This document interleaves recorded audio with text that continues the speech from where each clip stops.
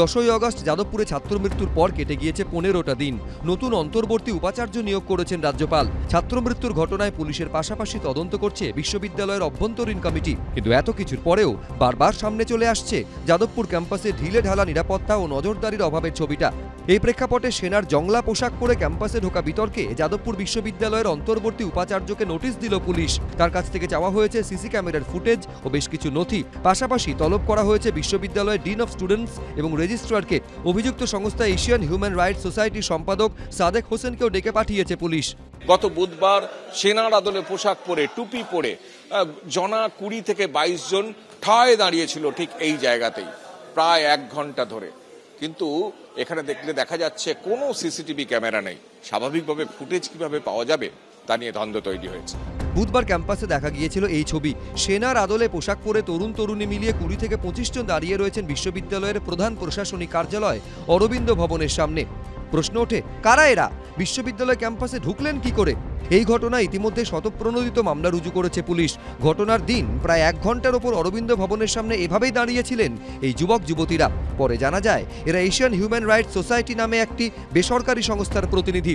সংস্থার তরফে দাবি করা হয়, যাদবপুর বিশ্ববিদ্যালয়ের নিরাপত্তার বিষয় নিয়ে তারা কর্তৃপক্ষের সঙ্গে কথা বলেছেন।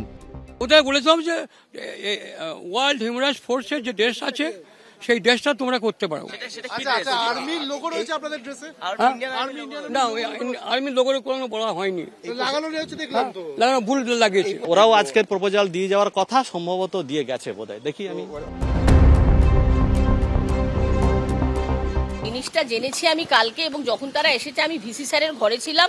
তার সঙ্গে ওনাদের কি কথা হয়েছে আমি বলতে পারব না। আমার যার দায়িত্বে থাকা নিরাপত্তা রক্ষীদের কাছে আমি জানতে চেয়েছি কি ব্যাপার, সেই চিঠি শুদ্ধ আমি থানায় পাঠিয়ে দেবো। এদিকে এই ঘটনায় লেগেছে রাজনীতির রং।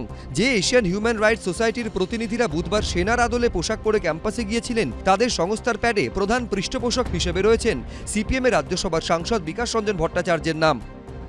এদের সংগঠনের সঙ্গে কোন রকম ভাবে কখনোই আমার কোনো যোগাযোগ ছিল না। আমার সম্মতিবিহীন তারা এইসব ছাপিয়েছে এবং যে কাজকর্ম তারা করছে, হঠাৎ সেরা বাহিনী সাজানো পোশাক পরে যাদবপুরে চলে গেল। তাদের কে দেখেছিল? নিশ্চয়ই হয়তো যাদবপুর কর্তৃপক্ষ তাদের এমন একটা ডাক ফাক দিয়েছিলেন যে হিউম্যান রাইটস নাম টাম করে চলে এসো। আর যখন বিকাশ এই নামটাও তোমাদের আছে, কাজে লাগাবো। এই সমস্ত অপকর্ম যারা করে, তাদের বিরুদ্ধে ব্যবস্থা নেওয়াটাই বাঞ্ছনীয়। কে আপনাকে লাগিয়েছে? এক্সট্রা লিগ্যাল পাওয়ার কে দিয়েছে আপনাকে?